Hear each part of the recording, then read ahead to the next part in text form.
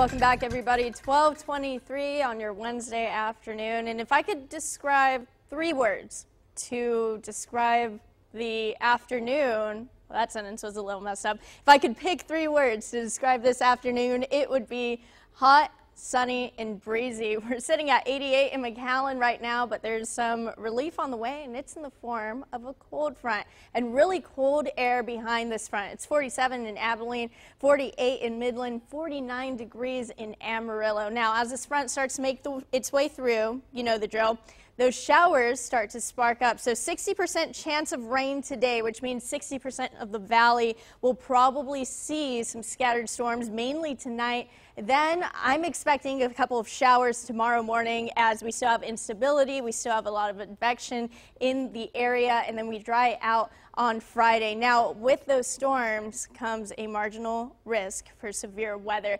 mostly for the southwest portion of Texas. Now, with that, we are in the marginal risk from Mission on into Starr County. Now, out of the five categories, though, we are in the smallest risk. So we're not expecting any flooding. We're not expecting tornadoes. Our biggest concern would be damaging winds and it would be hail, but we're talking quarter size hail at most. So let's break this down a little bit for you. By 6 p.m., those storms are starting to move in. By 7 p.m., you're really starting to see them develop in the mountains of Mexico and start to make their way through by 8 p.m. You've seen a couple bullseyes on your screen. So a couple of areas where there's just a lot of hail in that reflectivity from the radar, a lot of damaging winds.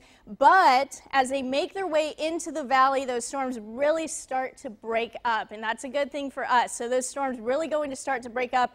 I think most places will hear a rumble of thunder, maybe see a stroke of lightning or two. But as far as anything severe, I don't think we're going to have anything too severe, maybe in Starr County, maybe in the western part of Hidalgo County, but those storms keep going through the valley. They start to break up even more. So Cameron and Willacy counties, you're not going to see any severe weather. I don't think you will. I think you may see a thunderstorm, but all everything is going to be quick moving. That's typically the case with a cold front. Isolated showers by 4 a.m. on Thursday. By 8 a.m., we're still seeing the possibility of isolated showers those clouds start to move in again, and then we're going to have gradual clearing throughout all of Thursday, and that's what's going to keep us in the mid 70s. So our high temperatures tomorrow only in the mid 70s because of that gradual clearing. So let's break it down even more.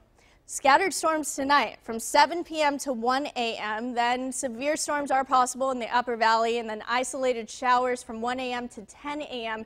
tomorrow morning. Now with those showers, we're also going to have a huge drop of temperature, 14 degree drop, high of 90 today, only a high of 76 tomorrow. But your temperatures right now all sitting in the upper 80s except for at the coast where it's 83 in Port Isabel. So today, high of around 90, partly cloudy, warm, breezy day. Winds are going to be out of the southeast at around 15 miles per hour. And then tonight, cool down to around 67.